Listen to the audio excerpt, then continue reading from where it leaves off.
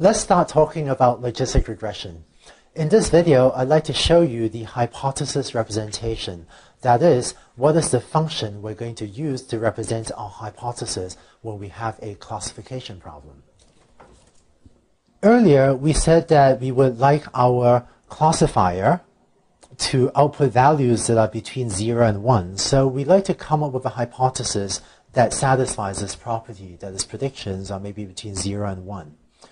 When we were using linear regression, this was the form of a hypothesis where h of x is theta transpose x.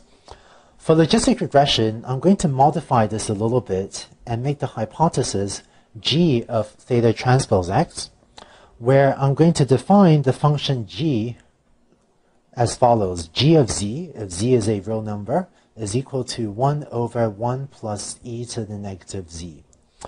This is called the um, sigmoid function or the logistic function. And the term logistic function, that's what gives rise to the name logistic regression. And by the way, the terms sigmoid function and logistic function are basically synonyms and mean the same thing. Um, so the two terms are basically interchangeable, and either term can be used to refer to this function g.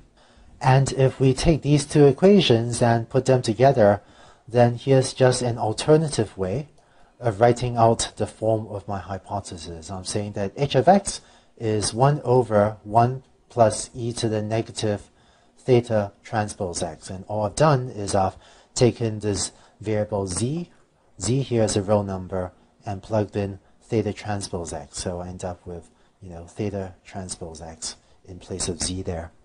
Lastly, let me show you what the sigmoid function looks like. We're going to plot it on this figure here. The sigmoid function g of z, also called the logistic function, it looks like this. It starts off near 0, and then it rises until it crosses 0.5 at the origin, and then it flattens out again like so. So that's what the sigmoid function looks like. And you notice that the sigmoid function, well, it asymptotes at 1, and it asymptotes at 0 as a z, I guess the horizontal axis is z. As z goes to minus infinity, g of z approaches 0. And as g of z approaches infinity, g of z approaches 1. And so uh, because g of z outputs values that are you know, between 0 and 1, we also have that h of x must be between 0 and 1. Finally, given this hypothesis representation, what we need to do, as before, is fit the parameters theta to our data. So given a training set, we need to pick a value for the parameters theta, and this hypothesis will then let, let us make predictions. We'll talk about a learning algorithm later for fitting the parameters theta. But first, let's talk a bit about the interpretation of this model. Here's how I'm going to interpret the output of my hypothesis h of x. When my hypothesis outputs some number, I am going to treat that number as the estimated probability that y is equal to 1 on a new input example x. Here's what I mean. Here's an example. Let's say we're using the tumor classification example. So we may have a feature vector x, which is this uh, x0 equals 1 as always, and then our one feature is the size of the tumor. Suppose I have a patient come in and you know they have some tumor size and I feed their feature vector x into my hypothesis, and suppose my hypothesis outputs the number 0.7. I'm going to interpret my hypothesis as follows. I'm going to say that this hypothesis is telling me that for a patient with features x, the probability that y equals 1 is 0.7. In other words, I'm going to tell my patient that their tumor sadly has a 70% chance or a 0.7 chance of being malignant.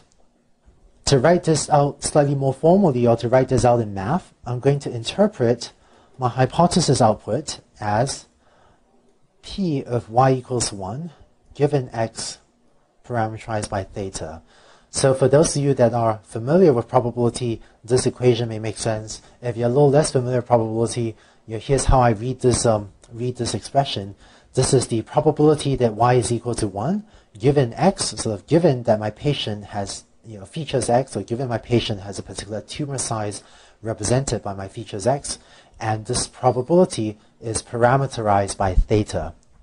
So I'm basically going to count on my hypothesis to give me estimates of the probability that y is equal to 1. Now, since this is a classification task, we know that y must be either 0 or 1, right? Those are the only two values that y could possibly take on, either in the training set or for new patients that may walk into my office in, or into the doctor's office in the future. So given h of x, we can therefore compute the probability that y is equal to 0 as well. Concretely, because y must be either 0 or 1, we know that the probability of y equals 0 plus the probability of y equals 1 must add up to 1. This first equation looks a little bit more complicated, but it's basically saying that probability of y equals 0 for a particular patient with features x, and you know, given our parameters theta, um, plus the probability of y equals 1 for that same patient with features x, and given our parameters theta, must add up to 1.